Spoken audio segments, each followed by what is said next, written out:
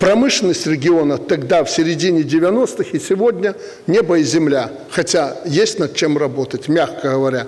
Все промышленные предприятия или простаивали, или работали ни шатка, ни валка. Вокруг БМЗ, Мозырского НПЗ, Гомсельмаша, других крупных ваших заводов крутились сотни жуликов. Чтобы вы знали, э, в 90-х предприятия нашей страны были уже разделены. Мы возродили не только Гомсельмаш, у этого предприятия много проблем, я знаю, но они делают самые современные комбайны. Наши люди умеют делать все. Надо какое-то время и побольше дисциплины и ответственности.